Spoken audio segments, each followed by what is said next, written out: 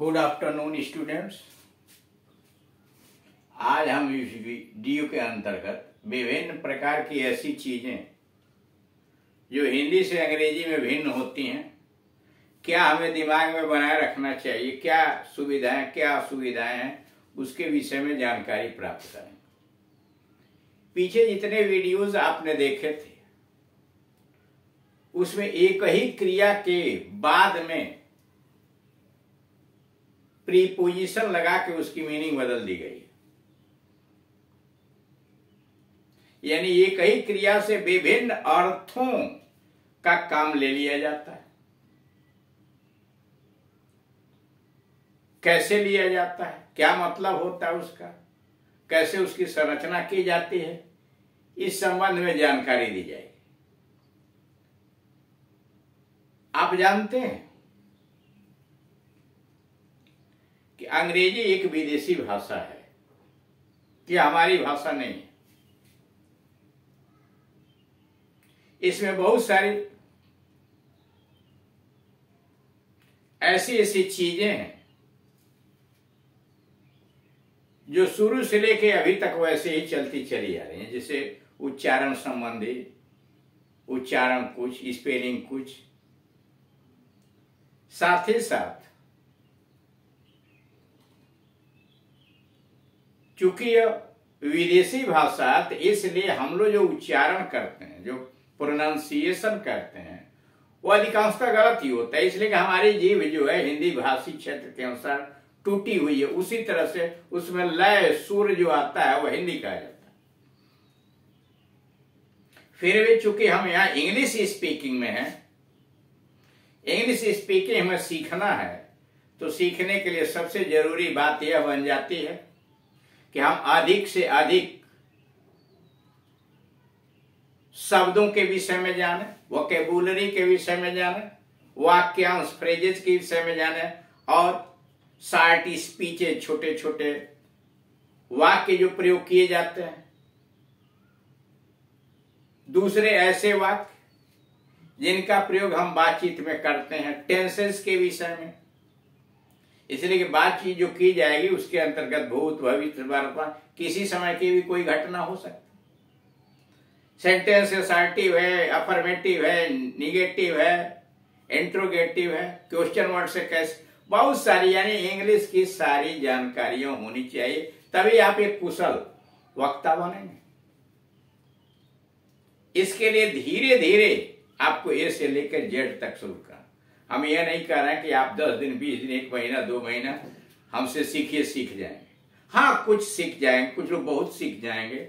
अब ये तो निर्भर करता है आपके प्रयास पर कि आप कितना डिटरमाइंड हैं, कितना आप दृढ़ संकल्प है अपने उद्देश्य को लेकर के।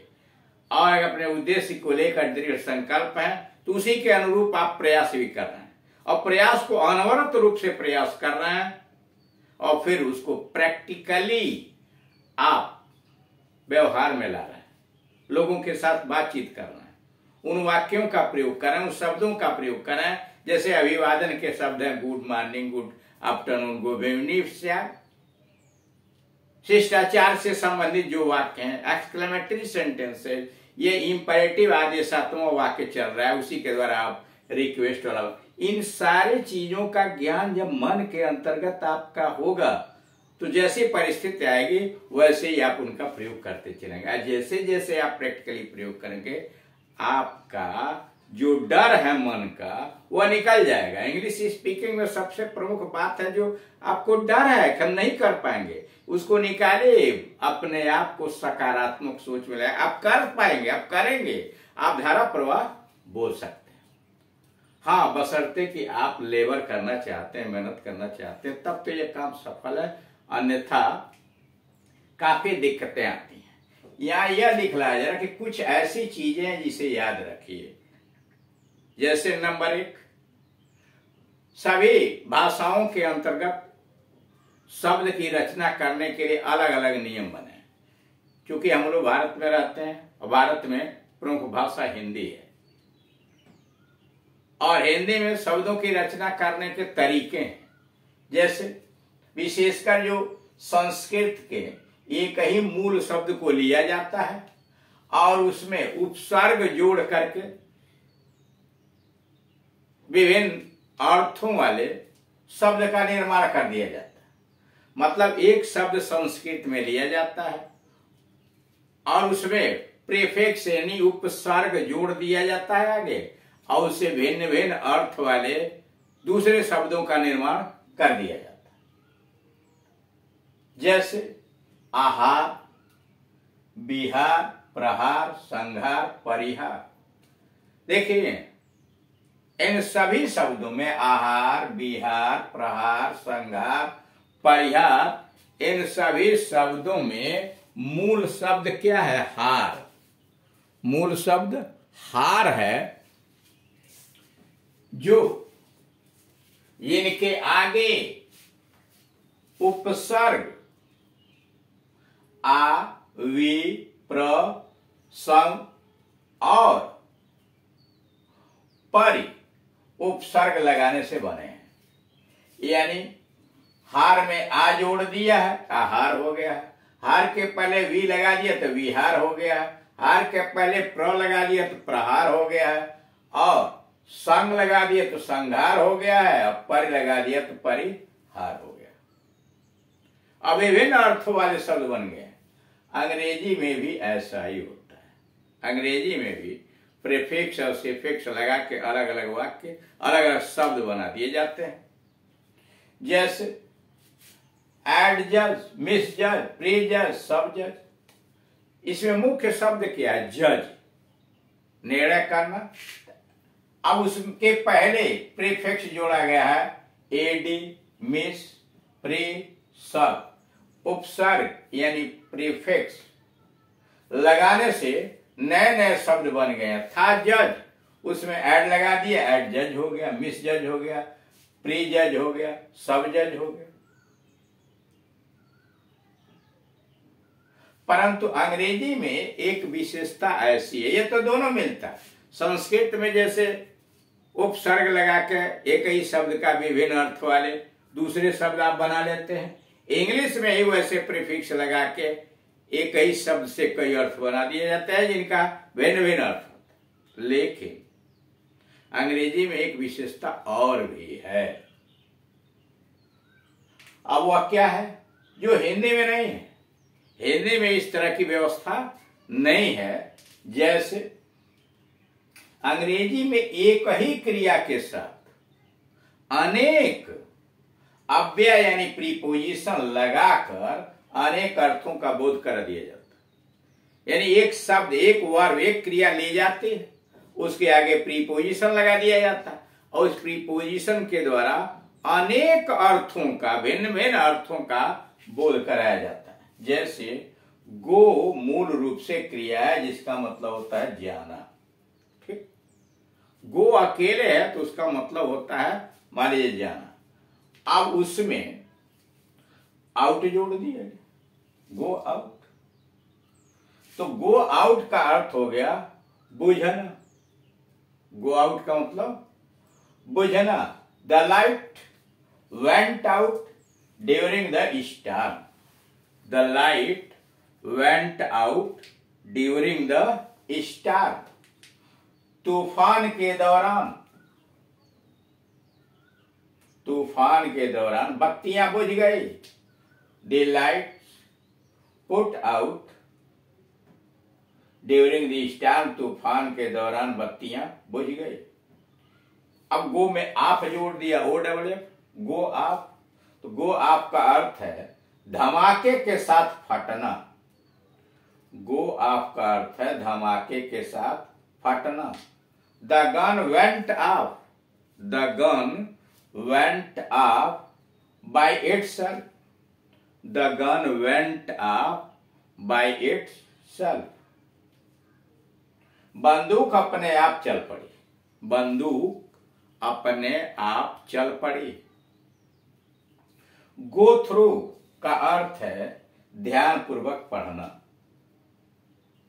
गो थ्रू का अर्थ है ध्यान पूर्वक पढ़ना। He went through the whole book he went through the whole book but could not discover anything new in it. He go through the he went through the whole book. उसने पूरी पुस्तक पढ़ ली ठीक उसने पूरी पुस्तक पढ़ लिया but could not discover anything new in it लेकिन इसमें नया कुछ भी उसे प्राप्त नहीं हुआ, यानी नई कोई चीज़ वो खोज नहीं पाया। अब ये नोट नंबर दो पर। अंग्रेज़ी में पुट क्रिया का अर्थ होता है रखना। इंग्लिश में पुट क्रिया का अर्थ है रखना। ठीक? परंतु यह बात देखने योग्य है, ठीक? परंतु यह बात देखने योग्य है कि अव्ययों,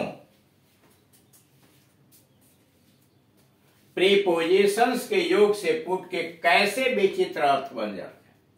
यानी पुट के आगे जब हम अव्यय प्रीपोजिशन लगाते हैं तो कैसे विचित्र विचित्र अर्थ निकलते हैं? जैसे पुट डाउन का अर्थ है लिखना। पुट डाउन का अर्थ है लिखना। Please put down all that I say please put down all that I say कृपया जो मैं कहता हूँ लिख लीजिए। Please put down all that I say कृपया मैं जो कहता हूँ लिख लीजिए। दूसरा पुट के फॉरवर्ड लगा दिया। पुट फॉरवर्ड पुट फॉरवर्ड का मतलब पेश करना। ही एजिटेटेड वह हिचकिचा गया। हेजिटेट हिचकिचाना। ही हेजिटेटेड वह हिचकिचा गया। To put forward his plan अपनी योजना को पेश करने में वह हिचकिचा गया। He hesitated to put forward his plan वह अपनी योजना को पेश करने में हिचकिचाया।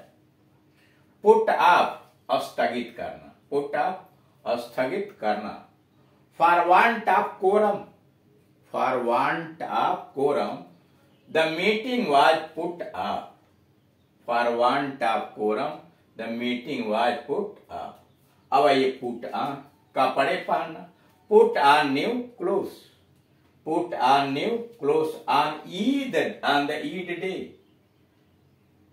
he put on new clothes on the Eid day Eid के दिन वह नए कपड़े पहना।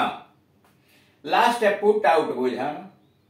पुट आउट द फायर आग बुझा दो।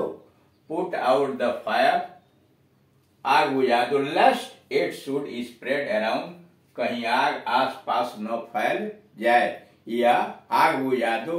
आग कहीं अगल बगल अड़ोस पड़ोस में न फैल जाए। तो इस तरह से देख रहे हैं, एक क्रिया में प्रीपोजिशन लगा के उसको विभिन्न अर्थों को अब समझाया जाता है, विभिन्न अर्थों में उसका प्रयोग कर दिया जाता है।